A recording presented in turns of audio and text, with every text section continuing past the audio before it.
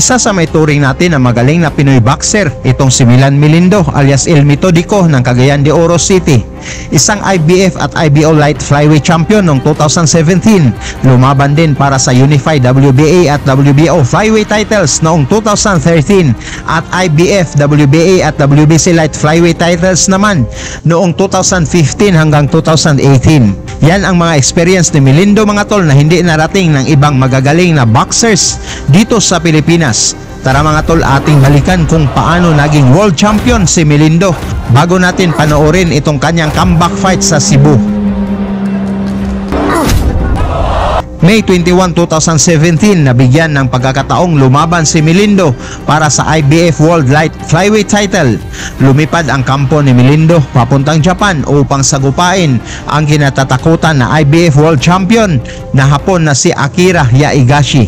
Hindi basta-bastang boxer itong si Yaigashi mga tol dahil nagmula ito sa limang magkasunod na panalo kasama na ang pagsungkit nito sa IBF Light Flyweight title nang tinalo nito si Javier Mendoza ng Mexico via unanimous decision at nadepensahan nito ang titulo ng dalawang beses bago sinagupa ang Pinoy na si Melindo.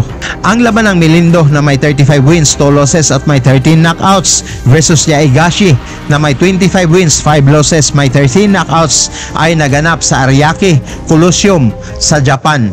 Ito ay pangatlong depensa ni Yaigashi sa IBF Light Flyweight title.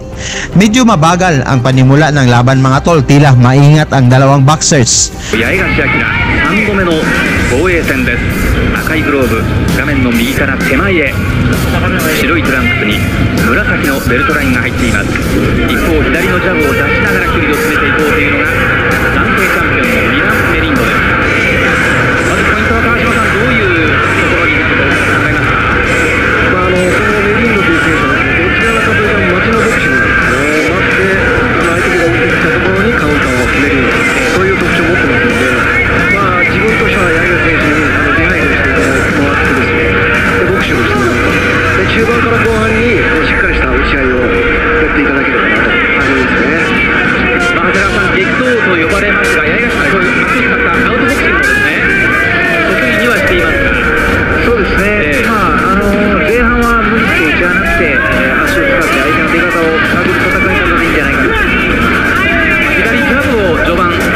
多く出しているような印象もあります八重樫新宿長い戦いになることを想定してトレーニングを積んできました八重樫左のジャブを放ちながら先ほど一発左の重いボディーブローを放ちました Mula sa palitan ng suntok, bumagsak ang champion na hapon. Nakatayo pa ito at nakipagsabayan.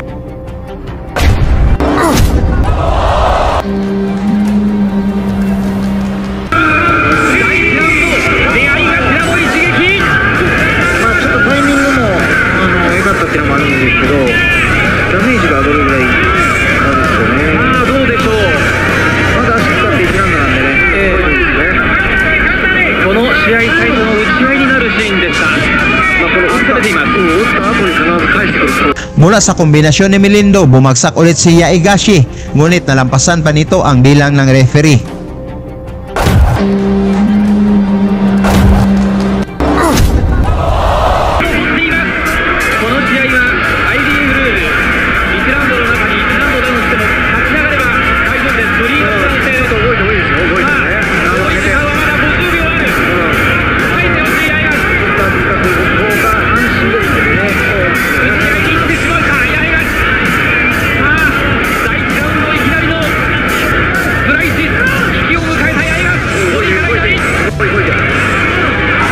30 segundo bago matapos ang round 1 mga tol, isang solid na kanan ang pinakawalan ni Melindo. Bumagsak ang champion. Hindi na nito nakayanang tumayo kaya dito na tinigil ng referee ang laban.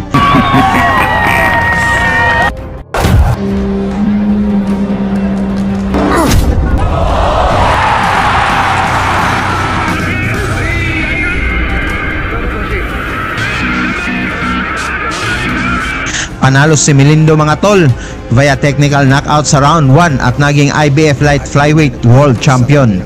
Ngayon lang January 11, 2023, nagbalik aksyon si Melindo kontra sa isang Thai boxer na si Chai Wat Wat Kratok. na dumayo dito sa Pilipinas. Hindi ito madali na comeback fight ni Melindo mga tol dahil si Buat Kratok ay WBC Asian Boxing Continental Featherweight Champion at sa 38 na panalo nito ay 25 ang kanyang pinabagsak.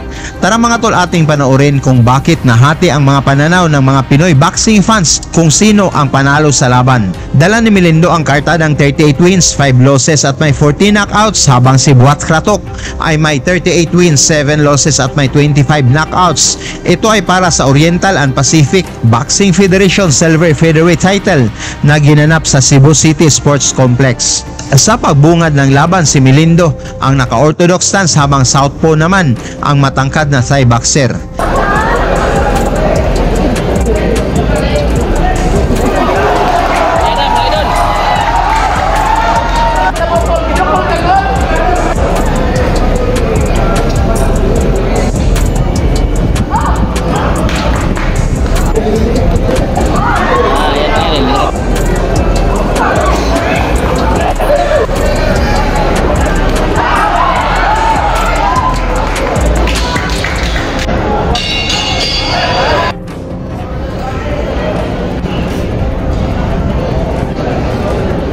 128 feet.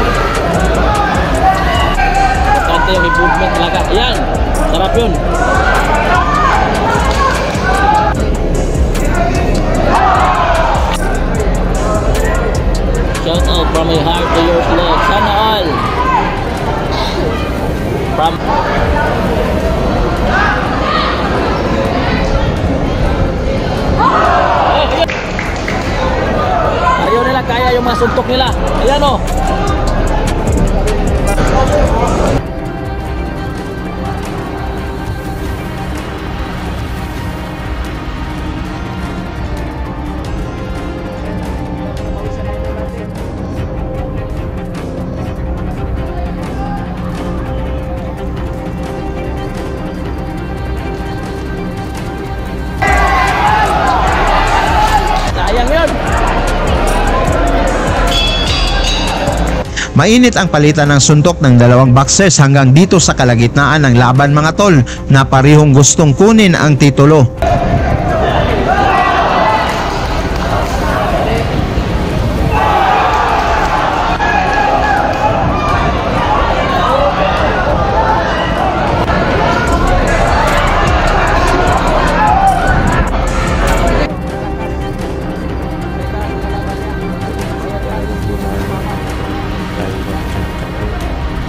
Yan! Pero di na masyado malakas yung anong kamay. Ayan yung mga counter. Oh, ayan. Sarap. Ka tama.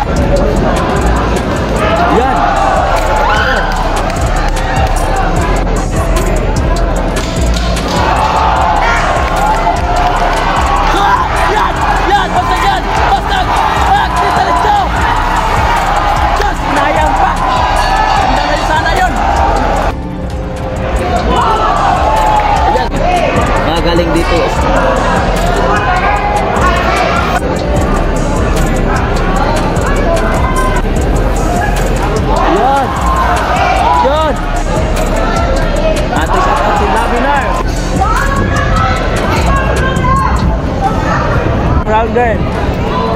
Nah, relax lang muna, relax. Yan! Yan! Yan! Ang bilis! Yan! Ang bilis! Yan! Ang bilis! Yan! Ayun! Yan, mas namin yung hina.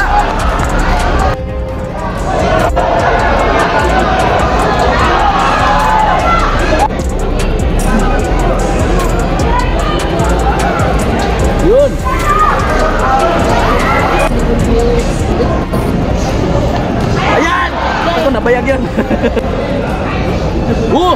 Yan! Ayun! Hina, mahina. Diskarte kasi yan yung ano. Ayan! Yan, hindi tumama. Sana kayo pamat, kapin mo yan mga idol. At bigyan ng pagmamahal. Ayan. Yan!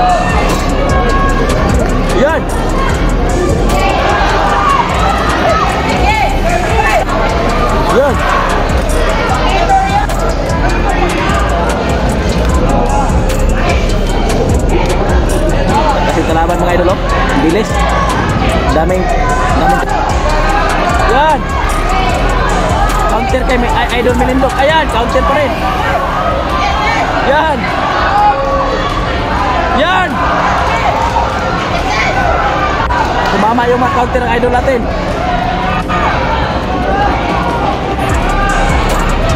Yan! Dinideclare mga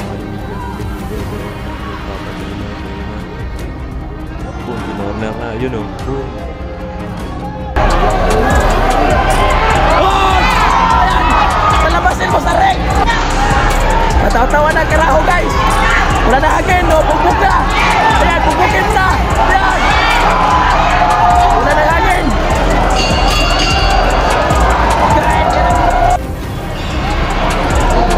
Ito na.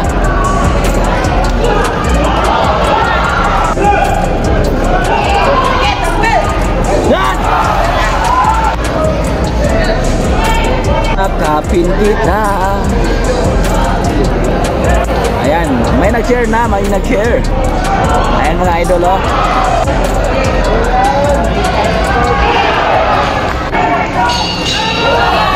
mga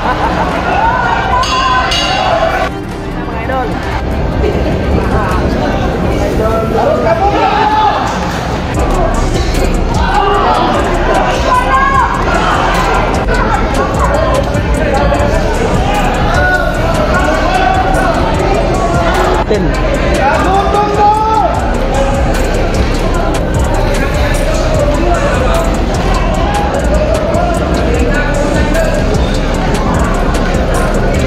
Hindi, maganda yung ano, mga patama ni Idol Melindo. Boom. Okay, boom. Yun o.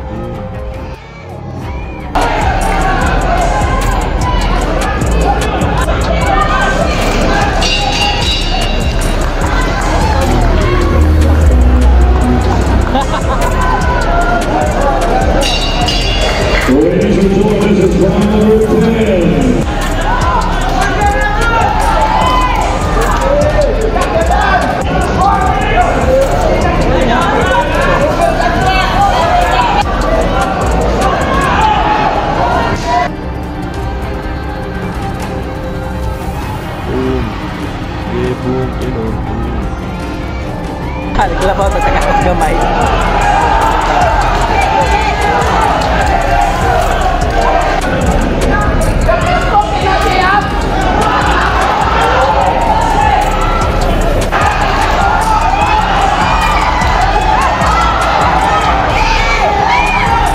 Pag pagkatapos ng matinding salpukan mga tol, lumabas na panalo ang ating champion na si Melindo via unanimous decision sa score na 98-92 sa dalawang judges at 97-93 naman sa isang judge.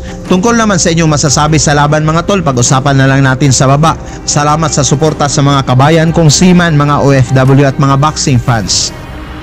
Lagi niyong sundan, huwag magpapahuli. Pag-usapan ni bakbakan, balita niya at laban. Mga Pinoy na di nagpapagapi. Salamat sa mga suporta na lagi nandyan